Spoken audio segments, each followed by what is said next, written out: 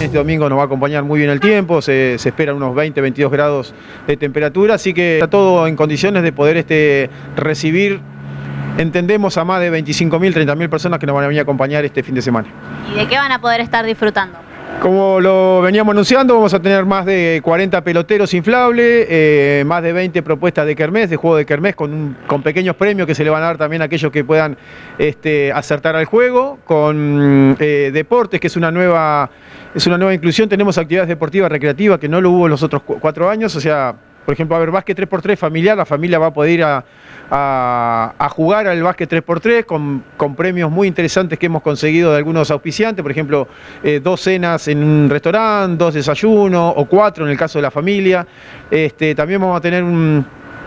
eh, unos 25 30 puestos de artesanos, que también es algo novedoso que se le suma a la fiesta del Día del Niño. Y bueno, la, la parte de cultura, sobre todo de musicales, vamos a estar cubiertos casi de las 13.30, 14 horas hasta las 17.30 va, a estar la banda la policía en su formato cover, van a estar este, mm, una pareja, una dupla que va a cantar, después va a haber este, va a estar este muchacho que eh, canta como mariachi, después van a haber los grupos de danzas urbanas. Y después Jaycee y John que son los que terminan este, terminando el evento, así que la verdad que muy cubiertos de la parte recreativa, deportiva, cultural, también con propuestas culturales, la gente de cultura va a traer este, para pintar, para hacer este, cosas de títer, así que la verdad que nada, son más de 100 atracciones las que se han logrado juntar, el tránsito va a estar cortado, que no se va a poder llegar con autos, bueno, acá se va a cortar en el, Paseo de los Olímpicos y la colectora, que es el Pablo VI, acá para que lo identifiquen, va a estar, no, nadie va a poder ingresar para la zona del Parque Ferreira, también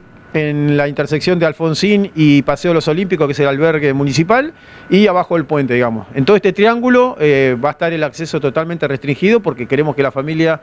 pueda eh, caminar y acercarse de manera este, tranquila y que no esté pensando que por ahí anda un auto, una moto o algún vehículo, así que está todo previsto con la gente de tránsito para que así sea. Bien, Marcelo, ¿van a estar habilitados también los baños de estos espacios? Sí, la verdad que este año también lo que le sumamos son los espacios municipales, con, con los baños de, Cabeco, del Quimei, del Cayetano Arias, de la oficina de turismo que tenemos acá al lado, más los baños químicos que van a haber, así que fortalecemos un poco lo que tiene que ver con, los sanitarios. Lo mismo con, eh, van a poder acercarse de distintos barrios con colectivos. Sí, la propuesta de los colectivos también, este, ya eso está coordinado con, con Pablo, que es un colaborador que lo viene haciendo los cuatro años anteriores, más que acompañado este fin de semana. Bien, reiteramos la invitación, ¿a qué hora comienza? El domingo a partir de las 13.30 ya van a estar todas las actividades en funcionamiento hasta las 17.30, que es el último espectáculo. Así que nada, esperamos a toda la familia con muchísimos regalos y premios para todos.